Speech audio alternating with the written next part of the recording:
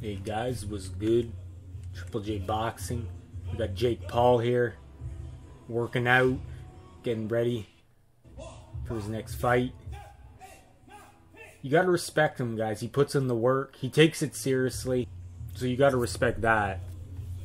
Um, sure, he's not fighting the best guys, but I mean, he's still fighting decent level guys, especially especially since the background he came from, he wasn't a combat like high level combat sports guy.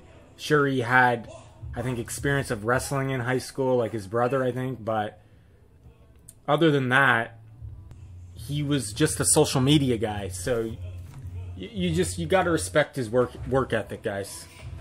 But uh, he's obviously a decent athlete too.